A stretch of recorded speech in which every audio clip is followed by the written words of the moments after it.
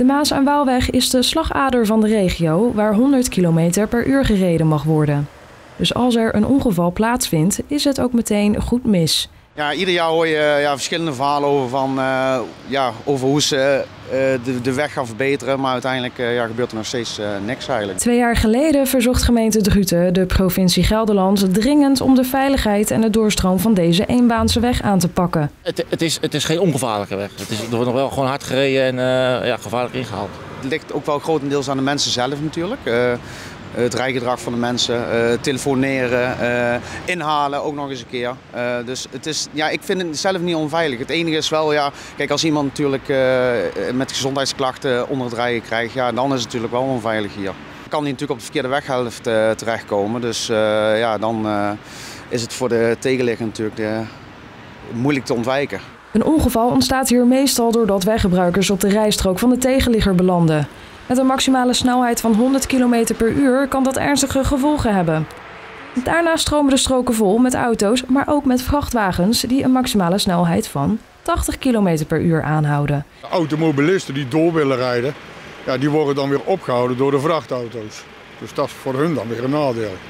Maar ja, als ze het hier dubbelbaans maken, dan is dat probleem al een heel eind opgelost. Zou een mogelijke oplossing zijn, maar daar is niet iedereen over te spreken. Dat trekt meer verkeer aan. Dus het lost, het lost het probleem, het vermeende probleem, want dat wordt helemaal niet onderzocht. Uh, lost het niet op. Het probleem is dat uh, er is uh, tijdens drukke ochtendspitsen is er af en toe een file die een aantal minuten vertraging oplevert. En mensen noemen dat heel erg, maar dat valt eigenlijk best mee. Want wij willen graag Maas en Waal, daar komen wij voor op, willen wij graag Maas en Waal laten.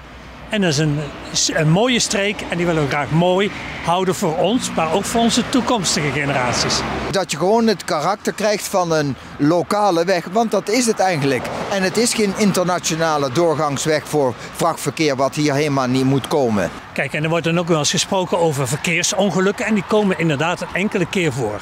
Ja, maar als ik kijk naar het ergste ongeluk wat ik me kan herinneren, dat waren drie doden. En dat had niks met de constructie van de weg te maken, maar gewoon roekeloos rijden.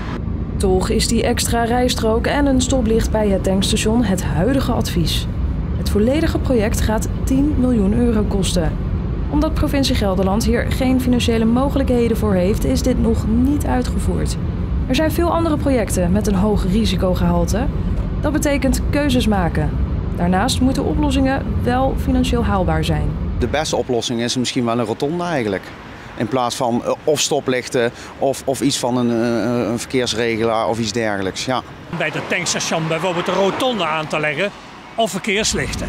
Provincie Gelderland behandelt de mogelijke oplossingen samen met gemeente Druten en betrokkenen. Dat betekent nog even afwachten dus.